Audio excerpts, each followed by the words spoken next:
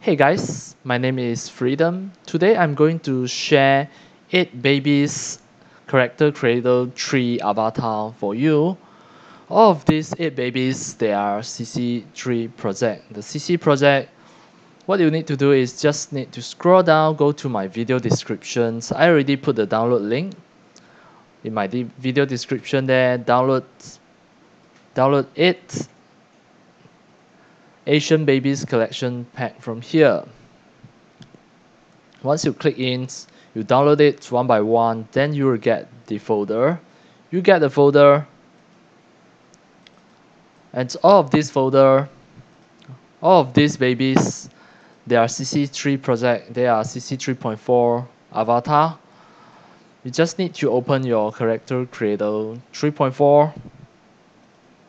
You can just drag in drag in any of the baby. These are Asian babies. Click replace all and wait for a while. Once it finished loading, you can just send it to your iClone 7 to create your 3D animations. You can just send to iClone. Click here and wait in your iClone 7s. Now it is sending. Now this baby already in, in iClone 7s you can just compare with other CC avatar. You can just choose from here just to compare the size. Then you, you can see that they are really babies.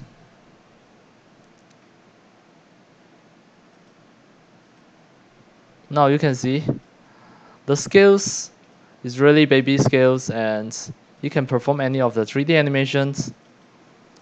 Just for example, you can make him to talk same as other CC3 avatar, character creator 3 avatar.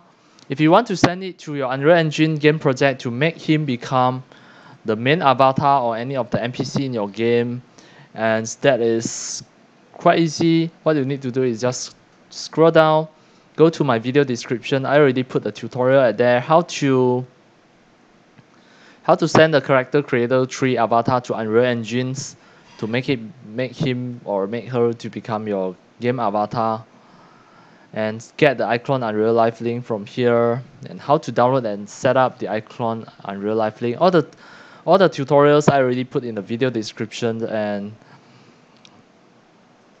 you can just download it now and just have fun. All of these realistic Asian babies. And that's all for today about my sharing of the real Asian babies here.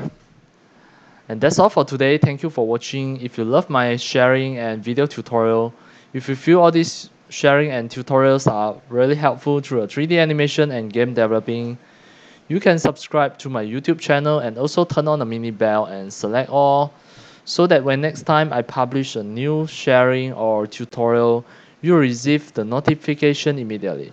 See you in my next video. Enjoy! Happy animation and game developing. See you!